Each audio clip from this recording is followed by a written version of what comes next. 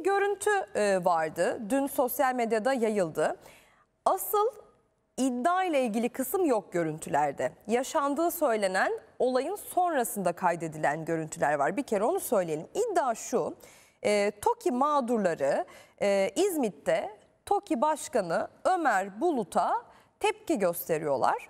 Ömer Bulut'un da bir hak sahibini yumrukladığı iddia ediliyor. Bir bakalım daha doğrusu ben konuşurken sadece görüntüler dönsün rica edeyim Esra'dan. Evet şimdi e, bu, bu tabii Mehmet Özhasaki'nin tepki verdiği kısım bu bambaşka bir etkinlikte.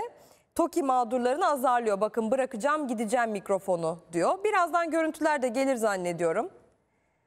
İzmit'te TOKİ Başkanı Ömer Bulut'un bir hak sahibini yumrukladığı iddia ediliyor. Sonrasında da işte böyle tartışmalar yaşanıyor. Şimdi tamam. Ee, oradaki o kargaşayı gördük. Önemli olan buydu. Şunu söylemeye çalışıyorum. Bu tepkiyi meydanlarda iktidar mensupları görecekler. Hele ki Murat Kurum. Çünkü kentsel dönüşüm üzerinden, e, yeni konutlar üzerinden, binlerce yeni konut üzerinden söz veriyor. Fakat kendisi önceki Çevre ve Şehircilik Bakanı. Dolayısıyla bunlarla karşılaşması son derece normal.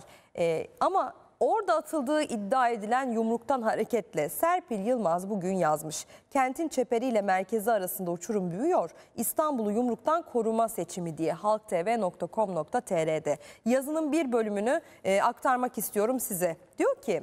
Yerel seçimlerde öncelikle sorulması gereken soru 9 Kasım 2023 tarihi itibariyle hayata geçen Kentsel Yenileme Başkanlığı hangi sonuçları doğuracak? Çevre, Şehircilik ve İklim Değişikliği Bakanlığı ilişiğindeki bir kurum olmasına karşılık adeta Merkez Bankası'ndan bile daha özel bir kurum olarak yapılandı. Siyasi sorumluluğu yok, Sayıştay denetiminden muaf deprem riski taşıyor gerekçesiyle özel bir mülkün kentsel yenileme rezerv alan, alanı ilan edilmesi ve kamulaştırılması için kentsel yenileme başkanı Hakkı Alp'in imzası yeterli. 1 Nisan itibariyle yerel gündemimiz bu olacak. 15 Temmuz 2016 sonrası İstanbul'da boşaltılan askeri arazilerdeki yapılaşmayla İstanbul AKP Belediyeciliği'nin muradını deneyimledi. Yaptıkları yapacaklarının garantisi Kamusal varlıklardan yararlanma konusunda kent merkez, merkezlerinden çeperlere iteklenen dar gelirlilerle varsılların arasındaki uçurum büyüyor. 31 Mart'ta İstanbullu ah vah etmemek için sandığa gidecek diyor Serpil Yılmaz.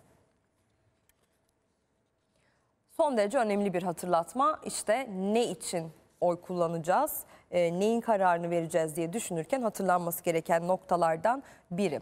Dün akşam bu stüdyoda meslektaşımız Timur Soykan çok önemli iddialar gündeme getirdi. Bakın bugün e, yazarı olduğu Bir Gün gazetesi de ilk sayfadan e, sandık oyunu diye bu e, iddialarını, haberini Timur